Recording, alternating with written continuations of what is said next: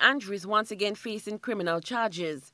He was brought to court in January with two summary charges of fraud by false pretense and four summary charges of practicing medicine without being registered.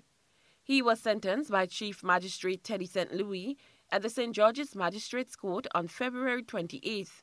Now he is in trouble with the law again. He was arrested and charged Wednesday for the offense of fraud by false pretense.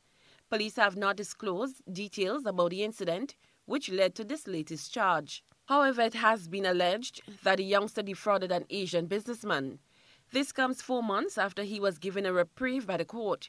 In February, the 22-year-old of Loreto St. John was given a suspended sentence for practicing medicine without a license. He was charged with fraud by false pretense, sentenced to 100 hours of community service or six months in prison if he defaulted. His arrest for pretending to be a doctor came months after he was reprimanded and discharged for pretending to be a police officer. Andrew will appear in court on Thursday in St. George to answer the new charge of fraud by false pretense. Cherry and Blackman Stephen, GBN News.